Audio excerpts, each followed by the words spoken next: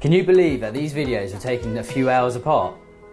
As you can see, the teeth look worse after we've done Invisalign, and that's purely because we've made space and corrected the gum height and created enough space for then us to build the teeth up. Once repositioned and whitened, we placed 10 composite veneers in one appointment and gave her this stunning smile.